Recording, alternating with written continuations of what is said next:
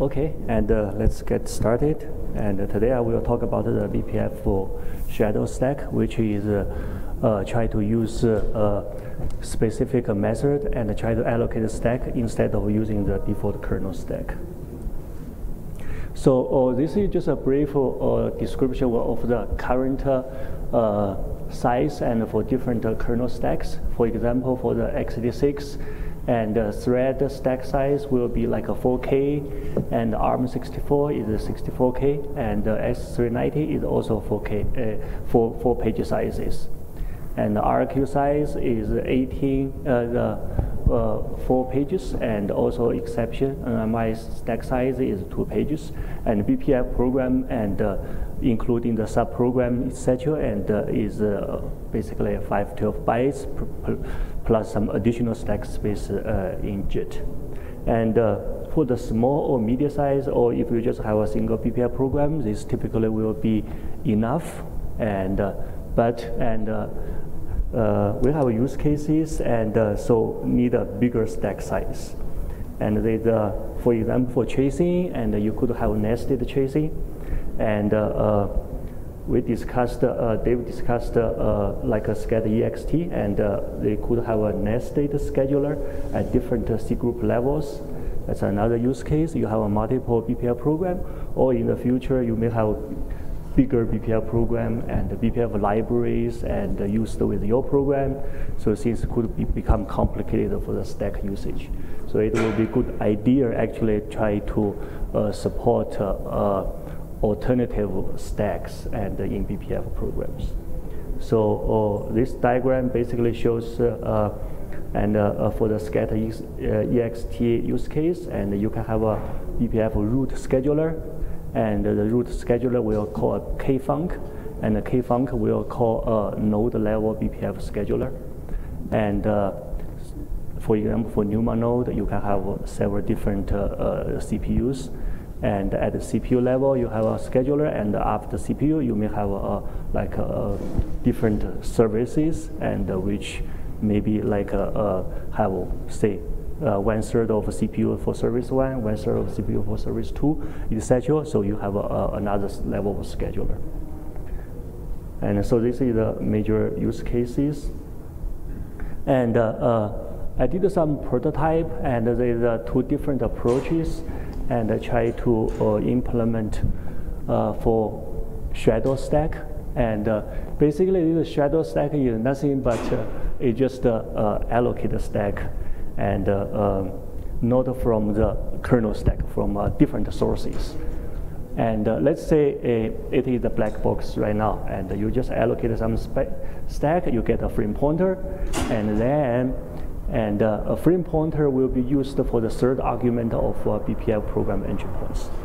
And uh, so uh, we have this BPF dispatcher function, and which have a context, which has instruction, and have a, basically the address of a BPF function, and we add one more called frame pointer.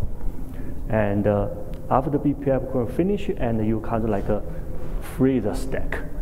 And uh, I, I, will discuss more about what this allocate and free mean later.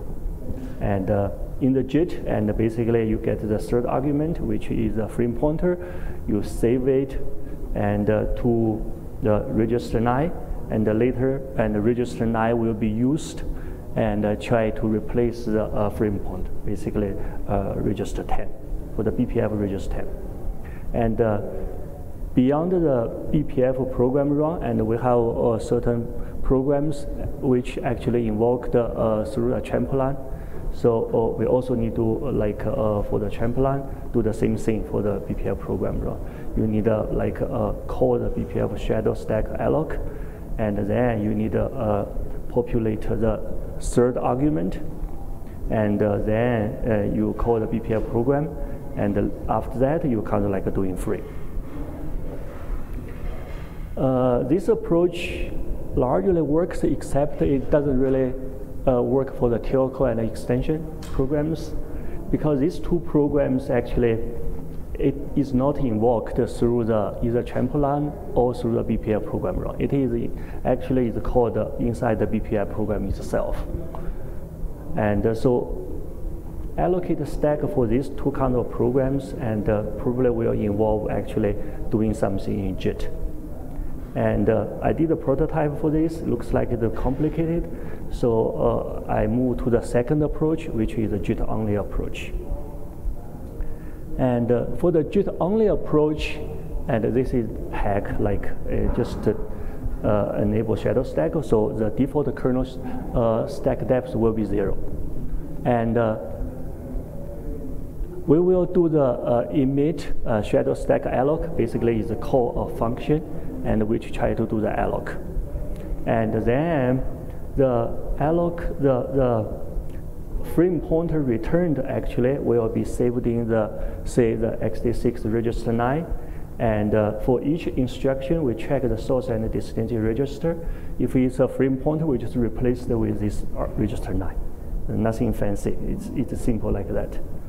And uh, at the end, and uh, before the exit, you kind of like uh, free your stack. So let's look at how the shadow stack alloc and free are emitted in JIT. And this is a prototype, and I, am pretty sure we can optimize that. And I just save and restore all the registers necessary, and based on the uh, uh, calling convention. And for example, here we save uh, register R1 to R5, and then we populate the uh, necessary parameters and call the uh, kernel function shadow stack alloc. And I have two flavors and alloc and uh, alloc sleepable. They are a little bit different. And after that, and uh, uh, once you get the frame pointer and save into the register 9. And register 9 later on and will be used to replace the frame pointer. And the free is similar and basically opposite way of alloc. And uh, you kind of like get the frame pointer and then you have a program itself uh, as well. And you call the uh, stack free or stack free sleepable. And after that, and basically you do the restore. So the similar to the uh, basically the approach one, and but everything is in. And uh, for the non-sleepable, and uh, we could do something like uh, we define a per CPU page, and the page aligned. Basically, you have in this particular example, I allocate two pages, and uh, so allocate and free is just similar to the existing approach, right? And uh, you have allocate a space like two pages, and then you doing the, the calculation here a little bit complicated and uh, atomic operation just in case. And uh, there's a two program try to allocate the space at the same time because it's a per CPU, right? And uh, it, it could be interrupted or it could be preempted. So and uh, so basically here is, the approach here is you calculate the offset and uh, uh, remember the size. The size actually is uh, can be calculated by program itself. This can be optimized. So you get the frame, you return. And uh, at the end, after the program run, and uh, you will be get a called stack free, and you adjust the offset as well. And so for non-sleepable, there's a nice property and actually it's nesting. Like you have a program A start and then nested B and C and then C and B and and A end. So you so this approach actually should work for the uh, basically non-sleepable program. For sleepable program, it is a different story, and uh, you can have a like a right a diagram, uh, the graph like uh, you have a sleepable A, sleepable B, sleepable C, and then it could be sleepable A and first, like sleepable B and the second, and followed by sleep program C. So in this particular case, the nesting doesn't really work, so I just use a kmalloc approach. And the sleepable program supposed to be in process context, so kmalloc and kfree should be fine. Yeah, that's a two approaches. And uh, there's a lot of issues and not resolved. And I didn't basically do the performance evaluation yet, although all the self-tests are passing and uh, it, it, it working fine. and uh, I pre per CPU stack size for the non-sleepable program allocate two pages, maybe four pages, maybe dynamic allocate. So it's a different approaches. Young and uh, also Young potential overflow. Sorry, Yonghong, can I, can I ask you a question? Sure. So I, I think I'm a little bit confused. So what happens, if, if you're doing this on the JIT path, what happens if you can't allocate the stack?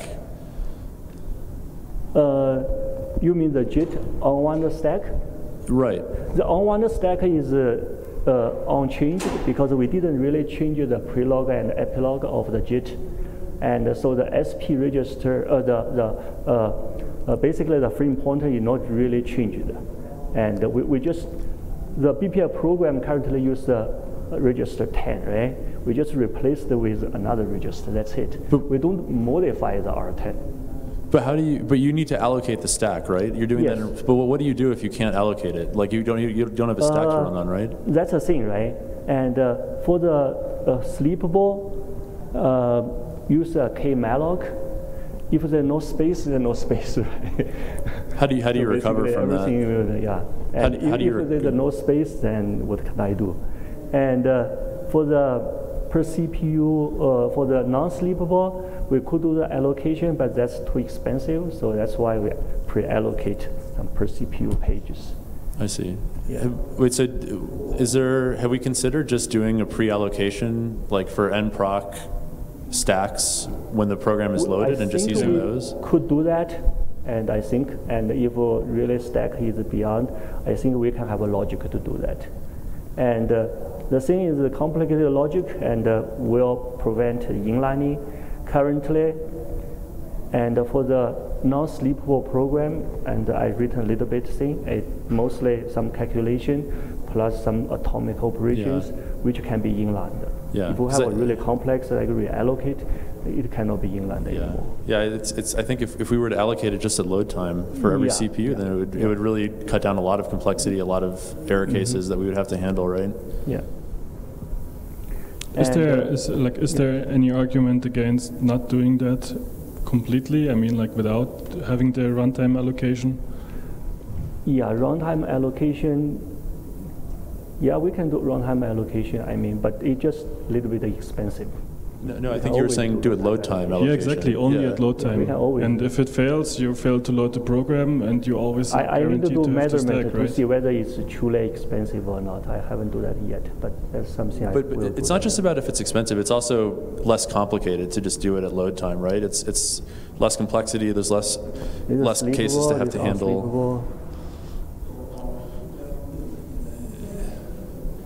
You know, like it's in sched_ext, for example, like there are sleepable paths that. Yeah, Um, this is a s- non-sleepable path, and basically you basically and uh, this is the per CPU one. You get this uh, offset, and then you based on stack size you return and uh, get the off, and you you basically return the frame pointer instead of a stack pointer. gotcha. And and the, the BPF shadow stack is allocated at load time. yes, runtime. Oh, okay, got it. This is runtime. And this code is executed in runtime, and it is actually the JIT. Is here. It is called the emit shadow. Hey, Young Hong. so, like, I feel that doing runtime at the beginning, prologue and epilogue, like doing anything, like inserting extra calls in there, this is like non-starter. Yeah. Really, like this is way too much overhead. Yeah, like I- it I won't be, agree. it Yeah. won't be usable for majority of the programs. Only for programs that need to be explicitly opt-in when they spend a lot of time inside the program doing a bunch of work Agree. because like extra two calls per program notification that's like way too big Yes. so what the david is proposing is to allocate upfront at the load time and hard code all of this constant so there is no calls at all at the beginning and end and it's safe to do because for most of the program except few we prevent recursion so they never like recurse into, into themselves on the same cpu so if per CPU memory is allocated upfront per program and they never recurs, you can use it. Yeah. The only thing that this uh, shadow stack won't work for programs where we allow recursion. and those are like few, and hopefully we don't need to The- do this. yeah. Those are just tracing progs, I would think, right? Like No, they're not tracing the sched_ext probes. they're what? Sorry. They're networking like Okay, TCP, okay, TCP yeah. BPF stuff where Actually, it has these to things, recurse. They are definitely. So that's why I mentioned, uh, you know, for some special like an XDP or something, we have additional overhead and we may want to add a flag. I don't know, but no, this is not wrong. BPF program load during BPF program load, I maybe. Yeah, ideally it's all transparent. Like you shouldn't need like program to know about this at all, and uh, program writers they should not be even aware that yeah, this is happening. yeah, we, we do not do this, and we can implicitly in the kernel. Yep. I don't know. Yeah, Ho- yeah. I, I think ultimately is the overhead, as you mentioned, and how how expensive it is, and how we could optimize, make it uh, faster. So Yeah, like so I think like all of this like guard page and everything that shouldn't be there. Like yeah, we should not need to have like any kind of like guard page or stack overflow. Like if we if the solution somehow involves like guard pages and failing runtime allocation, then this is Yeah. wrong path to follow. Like Yes, currently it doesn't exist, so like this new stack shouldn't degrade uh, uh, experience. I think we can uh, basically and uh, per CPU page, I think, and another option is basically per task, and uh, that one we could do that, and uh, basically in a task structure, I and don't- add another pointer. I don't think that would work because on the scheduling path, we're moving, like, we're scheduling other tasks. I mean, I guess like the task that's doing the scheduling operation could Okay. do it, but like you're, you're on the fork path, like I, I think it's, I think it's going to be way less expensive just to do per CPU, right? Just allocate a stack per CPU. Doesn't matter how many tasks are on the system. You just allocate the stack you need, and that's what you use, right? And uh, just thinking out loud, could like could, could we even have like a I don't know global per CPU stack even bigger than four pages, and then depending on, I mean like I you think you, a you do global have this is also recursion, right? Fun, and the per CPU is uh, per CPU is just make it easy, and we have an atomic operation anyway. In that case, Like what? okay. Like let's not complicate it. Like what's wrong with per CPU per program? You can have a megabyte per CPU per program. yeah, we can do that. Yeah. That's it. Like no extra complexity. Don't do with any of the atomic stuff.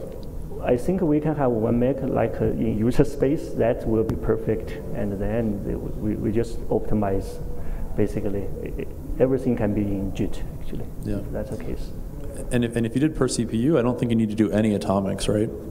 You just use whatever your, the per CPU stack is, and nobody's going to mess with it. Yeah, Th- I think there's a lot of benefits to doing it that way. Okay.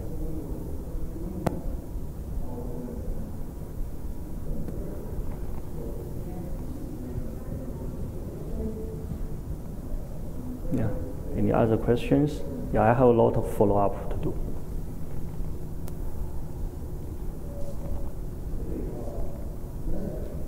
Any other comments, questions, or? Okay, thank you very much. Okay. Thank you.